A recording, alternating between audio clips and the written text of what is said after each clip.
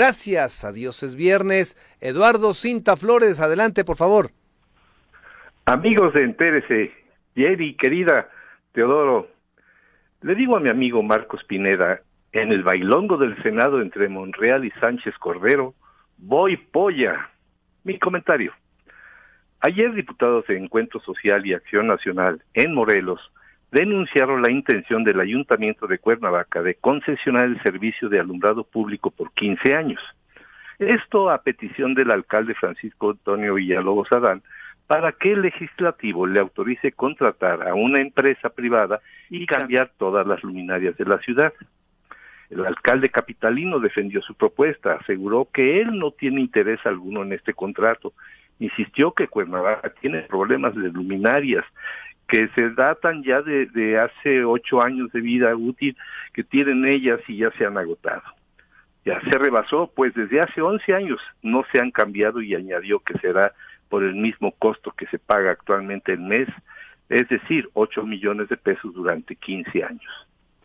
En municipios con problemas graves de recursos, como es el caso de Cuernavaca, es conveniente recurrir a proyectos de alumbrado público que presenten particularidades propias de nuestra ciudad en términos contractuales y operativos.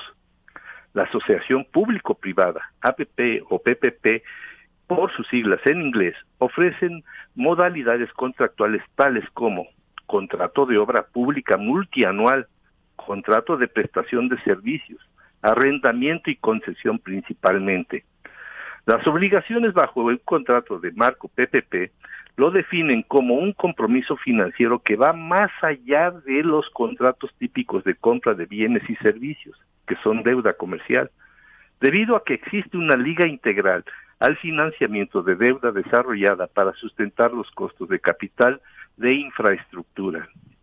Los esquemas de alumbrado público PPP observados son principalmente de largo plazo, por eso 15 años, en donde se establece una relación contractual con el privado mediante estructuras legales particulares.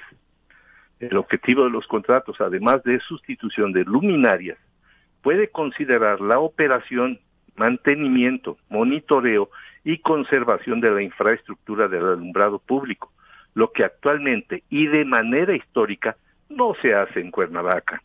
Con este tipo de contratos incorporaría a la capital a la modernización del alumbrado público municipal, destacando la tecnología LED como la comúnmente adoptada. La filosofía de estos proyectos se centra en generar ahorros en energía eléctrica y mejorar los indicadores de seguridad. La mejora económica es relevante en el contexto de Cuernavaca, donde se observa que el nivel de gasto operativo, gasto corriente más transferencias no etiquetadas, tiende a ser elevado y es equivalente a aproximadamente el 85% de sus ingresos operativos en promedio. El impacto de los incumplimientos de los PPPs se evalúa dependiendo del tipo de proyecto y con base en los términos pactados. La institución financiera ante el riesgo de incumplimiento de pago o rescisión de dicha esquema condiciona como garantía de pago a las participaciones presentes y futuras del municipio y es ahí donde se requiere la autorización, no participación en el proyecto, que quede claro, del Congreso Estatal. Es evidente que los municipios han actuado de manera dolosa, algunos municipios diría yo, y hasta fraudulenta en muchas acciones y contratos con el sector privado. Es por ello que se clausula la garantía de pago. Pero también se tienen múltiples ejemplos de este tipo de asociación en municipios en donde existe la planeación y sobre todo la voluntad de pago. Ejemplos, las ciudades de Querétaro, Corregidora en Querétaro, Aguascalientes, Garza García en Nuevo León, Hermosillo, Sonora, San Miguel el Alto, Mazamitla, Puerto Vallarta y Guadalajara en Jalisco, San Miguel de Allende, León en Guanajuato y sigue la lista de, de ciudades que han dejado el rezago incorporándose a figuras económicas, PPP, que generan beneficios múltiples a sus ciudadanos. Por lo general, los contratos estipulan que al terminar el contrato de servicio, el municipio será el propietario de todo el sistema de alumbrado público, incluyendo las obras ejecutadas por la contraparte privada.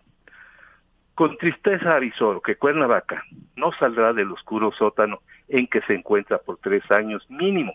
Seguiremos padeciendo de falta de alumbrado público, falta de agua potable y sus servicios, pésima infraestructura urbana, etcétera, etcétera, etcétera.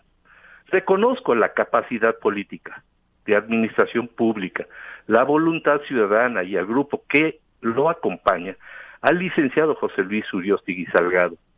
Sí, pero también contemplo que sin la participación del Congreso y de los gobiernos federal y estatal, no habrá recursos mínimos para la operación de la ciudad de Cuernavaca y, mucho menos para su modernización. Dice el dicho, con dinero baila el perro.